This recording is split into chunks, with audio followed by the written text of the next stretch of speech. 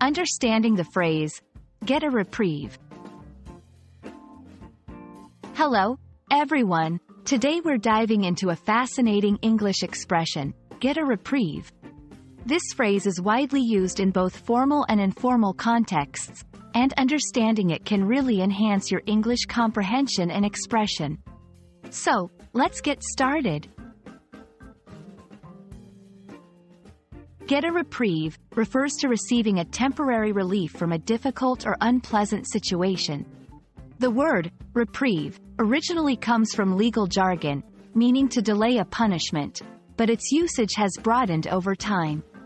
In everyday language, it can apply to any situation where there's a temporary delay or relief from something challenging.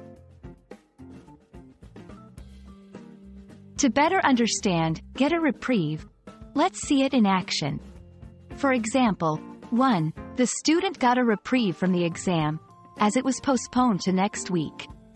2. After the rain stopped, the picnic goers got a reprieve from the bad weather. 3. The busy mother got a reprieve when her parents offered to babysit for the evening. In these sentences, the phrase indicates a temporary pause or relief from something potentially stressful or undesirable.